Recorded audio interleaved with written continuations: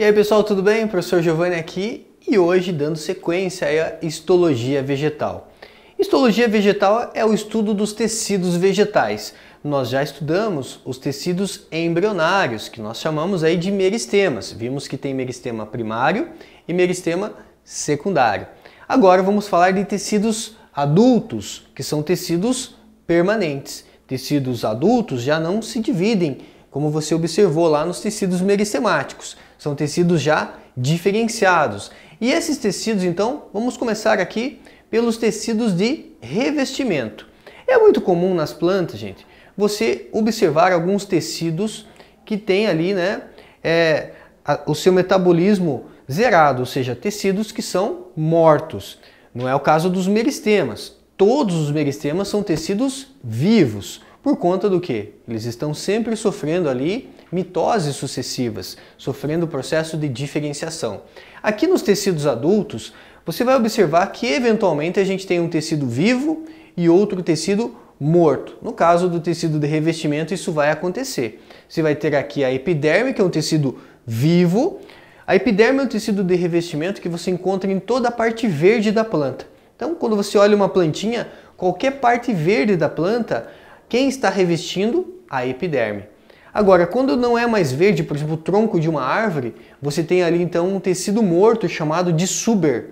Então, epiderme, tecido de revestimento vivo, suber, tecido de revestimento morto. E aqui você tem então, no início, vamos falar da epiderme, tecido de revestimento falando da epiderme. Essa imagem é uma imagem clássica aí de exercícios, você vai encontrar no seu material exercícios que vão trazer essa imagem, então é importante que você entenda ela. O que foi feito aqui? Foi feito um corte e esse corte eles estão te mostrando aqui a folha. Entenda assim, ó. Imagina aqui que a minha mão é uma folha, parte de cima da folha, parte de baixo da folha. Então, o que foi feito? Foi feito um zoom para que você possa ver o que? O interior de uma folha, parte de cima, parte de baixo. Então você tem a epiderme inferior e a epiderme superior. Na epiderme superior, você encontra uma camada de cera ali chamada de cutícula. A cutícula está associada à presença de um lipídio chamado cutina e esse lipídio ele impermeabiliza a folha tipo uma cera, né? Você fala, ah, a folha está encerada. Não, só parece que está encerada como está encerada mesmo, porque tem uma substância lipídica que é, que é uma cera chamada ali, né, de cutina. E a cutina forma uma película chamada de cutícula. Cutícula tem a função de impedir que a planta perca água em excesso. Então, você tem epiderme superior em cima da epiderme superior tem a cutícula. A cutícula é um anexo da epiderme. A gente vai ver que a epiderme tem vários anexos. Um dos anexos da epiderme é a cutícula. E a epiderme superior você também vai encontrar alguns anexos, como é o caso dos estômatos, que a gente já vai falar na sequência, certo? Então tá aí uma imagem muito importante. E aí você tem um, o meio, né, como se fosse a meiuca da folha aqui, que você encontra tecido de preenchimento, os parênquimas, que tem função fotossintética, né, função de fotossíntese. Mas isso a gente fala mais adiante quando falar aí dos tecidos parenquimáticos. Na sequência, então, importante você saber que a epiderme é um tecido vivo de origem primária. Por que a epiderme tem origem primária? Quem originou a epiderme foi um tecido meristemático primário, lembra? A protoderme ou dermatogênio originou a epiderme. Então a origem da epiderme é uma origem primária. E a epiderme é um tecido vivo. Quando a gente fala de anexos da epiderme, nós temos então a cutícula, que tem a função de impedir a perda excessiva de água. Você tem os tricomas, tricos do latim quer dizer pelos. Para que serve pelos nas plantas? Os pelos nas plantas eles podem ter várias funções como uma função de secretar alguma substância urticante, por exemplo, como uma função de reter água. Perceba que se você pega né, duas pessoas, uma pessoa que tem muito cabelo, uma pessoa que tem pouco cabelo, e eu tenho aqui dois baldes cheios de água. Eu peço para essas pessoas colocarem a cabeça dentro desse balde com água. Quem vai reter mais umidade na cabeça? Quem tem mais cabelo. Então o pelo tem essa função de reter água na planta, ajudar para que a planta possa segurar ali essa água reter umidade. E também a questão da proteção. Temos as papilas, papilas comuns nas rosas, que deixa aquele aspecto aveludado, que muitas vezes tem coloração muito chamativa, auxiliando até no processo ali de polinização, certo? Então são anexos da epiderme. Veja que nós estamos nesse momento falando da epiderme e seus anexos. Temos ainda, né, na questão aqui dos tricomas, então, como eu comentei, função de transpiração, impedindo a perda excessiva de água, secreção de substâncias e proteção, defesa, certo? Os acúlios. Toma cuidado agora, porque acúlio não é espinho. Cuidado, gente, pegadinha aí nos exercícios. Os acúlios, eles são anexos da epiderme. Nossa, professor, olhando para mim parece um espinho. Mas no caso aqui dos acúlios da roseira, qual a diferença de um espinho? Primeiro que o acúlio ele é um anexo da epiderme. Segundo, que ele é facilmente destacável. Eu consigo arrancar um acúlio facilmente. Agora, um espinho você não consegue arrancar ele facilmente, porque o espinho não é um anexo da epiderme. O espinho ou é uma folha modificada ou é um caule modificado. Então você não consegue arrancar ele facilmente, certo? Então acúlios são anexos da epiderme e facilmente destacáveis, enquanto espinho não são facilmente destacáveis e são ali ou folhas modificadas ou caules modificados. Nós temos ainda como anexo da epiderme os estômatos. A palavra estômato significa, se você for procurar a definição, significa boca, né? Ou seja, é uma estrutura que ela tem essa capacidade de abrir e fechar. Olha aqui para mim agora, olha só. Você tem aqui duas células guarda, então o estômago é formado por duas células chamadas de células guarda, e esse estômago ele funciona como uma válvula. Quando eu tenho essas células guarda, elas sem água, elas ficam fechadas, né? Então você tem aqui o que? Essa região, essa abertura chamada de ostíolo fechado.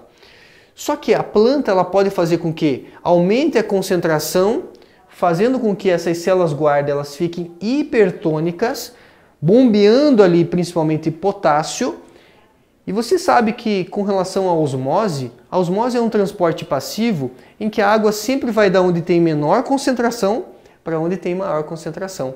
Então imagine as células guarda ficando concentradas em relação a potássio e isso vai fazendo com que ela absorva mais água, absorva mais água, abrindo então o estômago. E os estômagos ficam onde?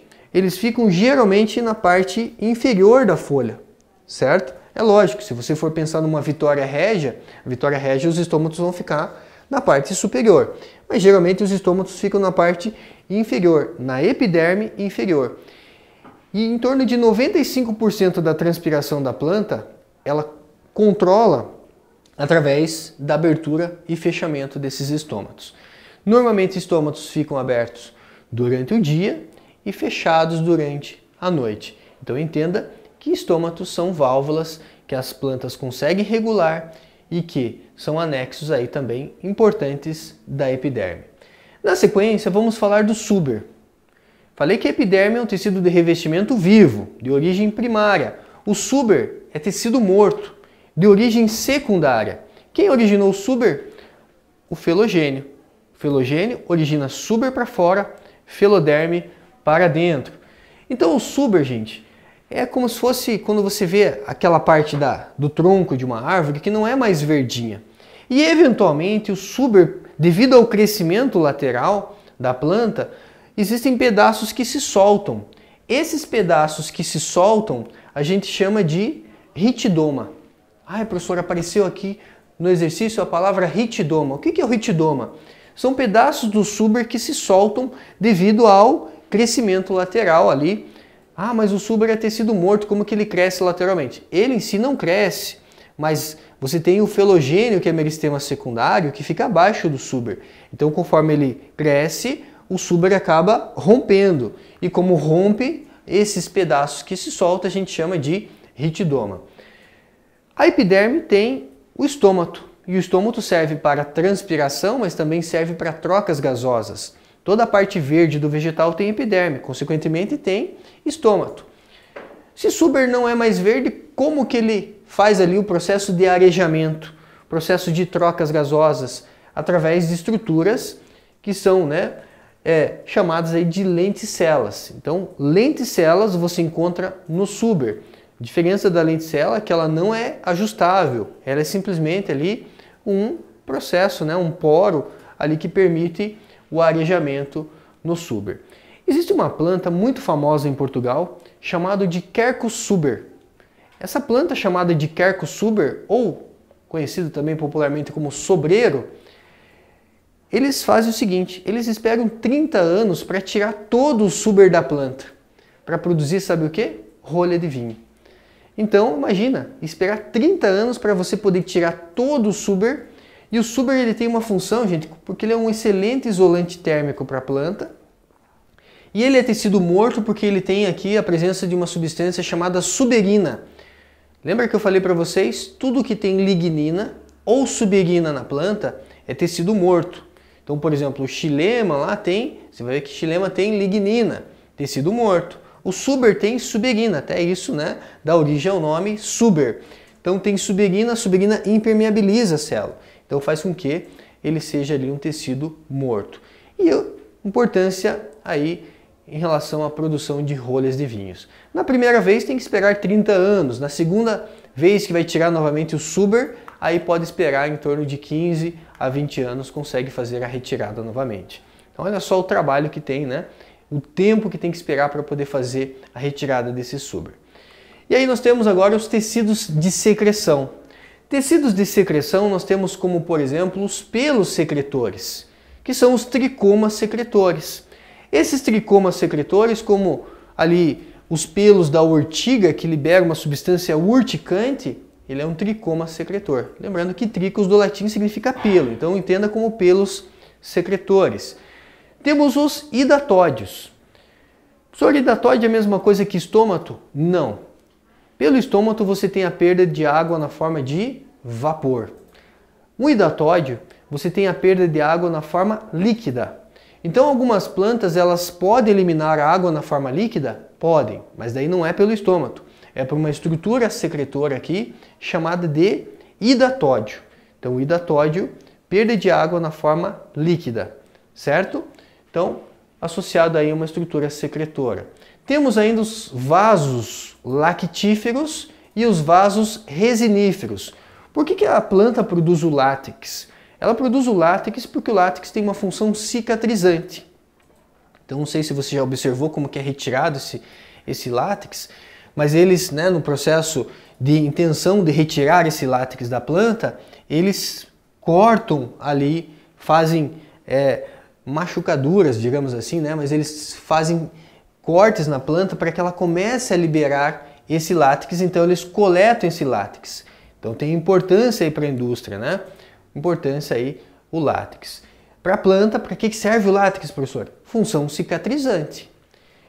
E a resina? A resina que você tem aí principalmente nas gimnospermas, ela tem uma função de proteção em relação a fungos que podem acabar parasitando a planta, então ela tem essa função de produzir ali os vasos né, resiníferos, esses canais resiníferos produzem ali uma resina que protege a planta em relação aos parasitas. Legal? Então, tecidos de secreção, vasos lactíferos, vasos resiníferos. E temos os tricomas glandulares. Tricomas glandulares, você tem aqui, né, como por exemplo, as plantas que a gente chama aí de plantas carnívoras ou insetívoras. Muitas vezes me pergunto, professor, planta carnívora faz fotossíntese? Sim, ela faz fotossíntese. Ah, mas por que, que ela come inseto? Ela na verdade não come inseto. Uma planta carnívora muito famosa, você tem aqui, né, por exemplo, a drosera, elas produzem enzimas digestivas. Então, quando o inseto fica preso nessas estruturas, ela acaba liberando uma enzima digestiva que vai digerir esse inseto, formando ali um suco nutritivo, que vai absorver ali, principalmente o interesse da planta é no nitrogênio. Essas plantas insetívoras, plantas carnívoras, elas fazem fotossíntese, mas por que, que elas capturam insetos? Elas capturam inseto por conta que geralmente elas vivem em ambientes em que o solo é pobre em nitrogênio. E você sabe, né, para a sobrevivência de uma planta, ela precisa de carbono, precisa de hidrogênio, precisa de oxigênio, porque planta também respira, então ela também consome o oxigênio, e precisa de nitrogênio. Só que nitrogênio, dependendo se o solo for pobre em nitrogênio, a planta não consegue captar o nitrogênio atmosférico, então ela captura a partir de insetos. Libera-lhe um suco digestivo que vai digerindo esse inseto e formando ali um caldo nutritivo rico em nitrogênio certo? Então essa é a estratégia. Outros te tecidos de secreção que poderia citar para vocês, como na imagem aqui, ó, se você já foi em uma região de manguezal, o mangue ele é um bioma costeiro, em que ele tem contato com o rio, com o mar, tem contato com o ambiente terrestre. Ele está ali numa região de transição. E muita água que é absorvida pelas plantas do mangue, água salgada. Então ela vai absorver uma água salgada e ela precisa eliminar o excesso de sais. Então existem glândulas de sal em plantas do manguezal, por exemplo. Temos ainda nectários, nectários que produzem ali o néctar, que muitas vezes é utilizado pelos agentes polinizadores, para atrair os agentes polinizadores. E os idioblastos secretores. Idioblastos secretores são células secretoras que produzem aí substâncias importantes como o oxalato de cálcio. Certo? Então são esses os tecidos de revestimento, falamos da epiderme, que é um tecido vivo, origem primária, o suber, que é um tecido morto, origem secundária. E falamos dos tecidos de secreção nesta aula. Até a próxima, gente. Tudo de bom para vocês.